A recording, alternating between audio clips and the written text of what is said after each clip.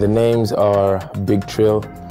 That's B I G T R I L. Um, I come from East Africa, Uganda to be exact. Um, Nigerian by extension, so my boss says. Um, yeah, I'm known in Nigeria um, for the hit that I delivered in 2019 called Party After Party. Party after party. Party after party. Party after party. After party after. Um, yeah, man, so I'm back here with a new sound and uh, some new waves. The name is Big Tril. Party after party, then we mash up the place. Mash up the place. Big Tril on the beat. Okay, the Big Tril brand. Big Tril is basically an acronym. Uh, when I was in high school, I used to like I used to do literature, so I wrote this thing at the back of my book, "Born in Greatness to Rise into a Legend," and I used to like that statement. And then I abbreviated it to Big Tril. So Big Tril basically means born in greatness to rise into a legend. And um, Big Tril is a rapper, musician, producer, uh, singer-ish. Yeah, I'm a lot of things. Basically, that's Big Tril. And a dope, basically, generally a dope guy. Okay, if I'm to compare, if I'm to compare the entertainment industry of Uganda and Nigeria, um, I like to say this: the Nigerian entertainment industry as a whole. In fact, let me, yeah, the Nigerian entertainment industry is the centerpiece of the African entertainment industry. When you look at Nigerian music, you know it's breaking borders, going global. When you look at Nigerian movies, everybody watching them, Netflix and whatnot. So this is where the cream is when it comes to the continent. You know, when it comes to entertainment.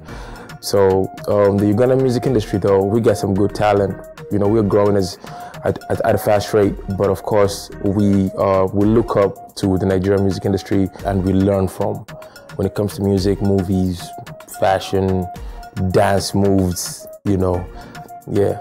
My new single, Long Way, is a single that literally talks about uh, my ups, my downs, my triumphs, my losses um, in this in life and in music in general. Um, it's something that when we listen to collectively, we decided to release first because I also want people to know my story and know where I come from and know that I don't take any of this for granted. I'm super grateful. So basically, the single just talks about my life, describes how I've come from not even believing this was possible to being on a world tour. And that's basically it. My daily my daily routine. My daily routine depends on how I'm feeling. I won't lie to you. Um, some days I go beast mode. I spend hours in studio. Some days I am not as creative. But my daily routine consists um, of waking up and uh, trying to find, you know, where I'm at in the day. Am I gonna? Am I? Am I? Um, am I creative today or am, am I not? If I'm not creative, I try to learn a new skill.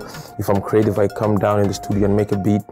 Um, basically, my daily routine is music. I won't lie. The only my job is music, and I try as hard as I can to report into my office every day. My office is the studio, so that's my daily routine, bro. I'm all about my music. I don't really go out like that. I'm not like a social butterfly.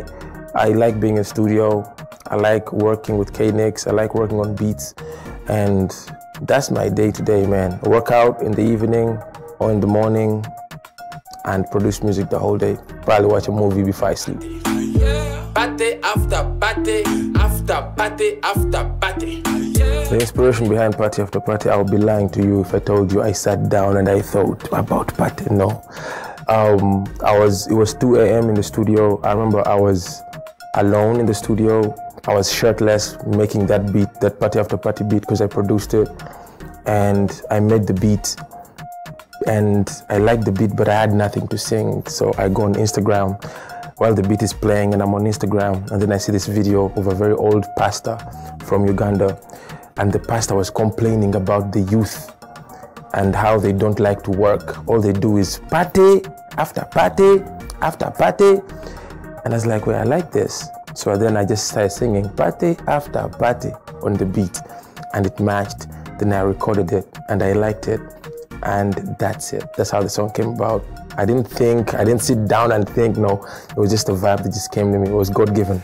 Party after party, Hey, party after party after party after party. Hey yo, what up? This your boy Big Tril, super producer, super rapper, super fly boy, and you are watching Nigezie. Party after party. Party after party. Party after party. After party after party.